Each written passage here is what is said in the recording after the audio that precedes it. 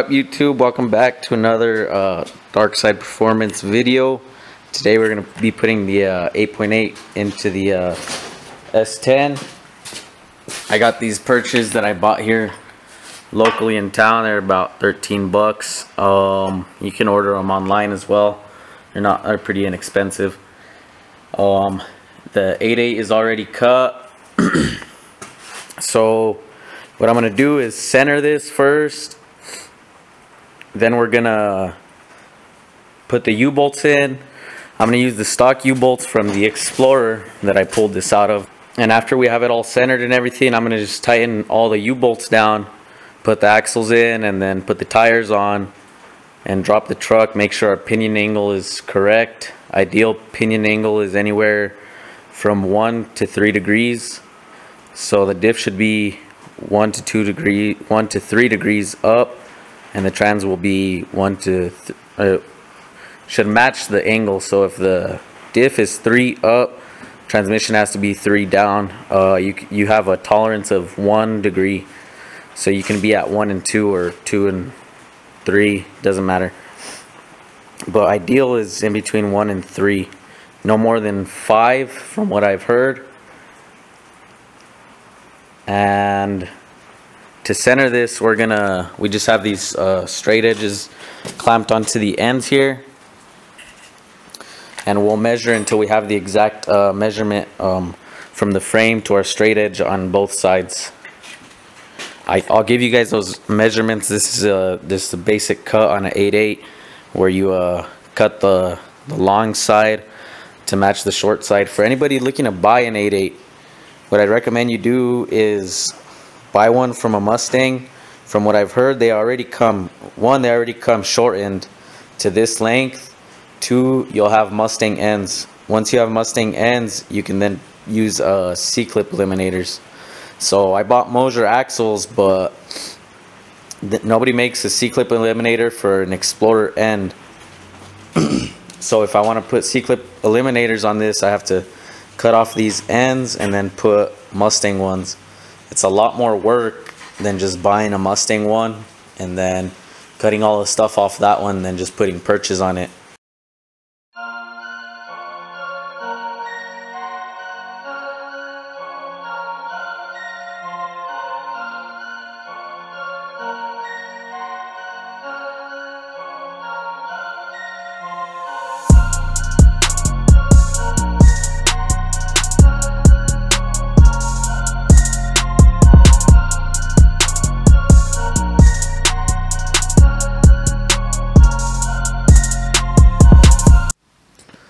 Right, folks, we got this all uh, centered in. Uh, the way we did it was um, this truck is on lowering blocks, total of five inches. And uh, the way I did it was I put all these blocks in and the leaf spring perch and I had them all loose and then I, I started measuring on each side until I had the exact measurement on this side. We have a straight edge here clamped on to the outside of the end. And we measured each side. Um, the perfect measurement we came out with, make sure you measure from the same spot. We use this bolt hole here on both sides. The measurement we came out with is, uh, what is it? Five and three thirty seconds five and three thirty seconds on this on each side and then you're uh, perfectly centered. Um, we got it right on the dot but uh, if you're off a, a 16th even up to even if you're off a eighth you're really only off a 16th on each side so that should that should be good. And as far as the pinion angle I use this uh, angle finder I set that while I had it in the air. I uh, I had to do this a few times. Uh, put it on and set it down and keep doing it until we got it right. But for this drop, I estimated about three degrees. So if you're gonna set it while it's in the air, you set it to about six. Once you put it on, once you put the axles in and put the wheels on, it drops about three degrees. So that should put you perfect right around three. Mine's at about right in between three and four, so that's where we'll put the trans. The trans can be at three or, or four because we have a, a degree of tolerance.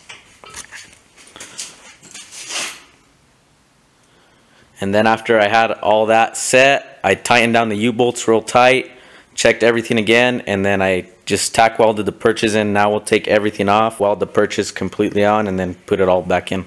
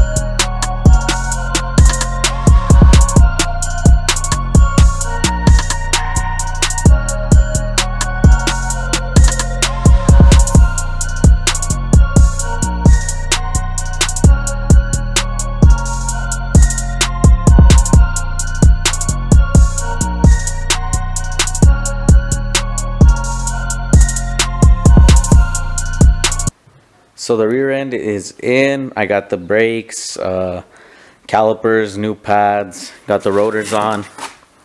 Put the Moser uh, axle cap on. Now for shocks, as you guys can see, I put the uh, stock Explorer bottom piece on there.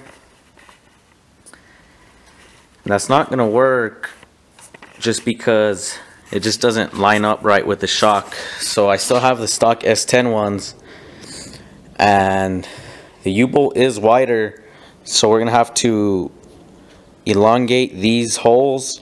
Probably just one set of them. I'm gonna try and just elongate these back ones and then I can just put this stock one on and put the stock in its the shock in its stock location. So our rear end is now completely in you guys. We got the bed on the truck and uh, we were able to use um, the stock this piece from the S10 the stock one this one's from the Explorer. We used the stock one from the S10 and all we had to do was squeeze the U-bolt like this. Takes a little more than this takes two hands but just squeeze it enough and then uh, it'll slip right into the stock ones. That way you can use your uh, stock shocks and uh, that's gonna be it for this video you guys. We're gonna be in uh, LS Fest West um, out in Vegas. So we'll have some footage. Hopefully there's some street racing out there and maybe some stuff from the track. And then when we get back from LS Fest we're gonna go hit the streets of Albuquerque too. And um, the EP should be running by then. So we'll have um, some street racing. I'll, thank you guys for watching. Se la.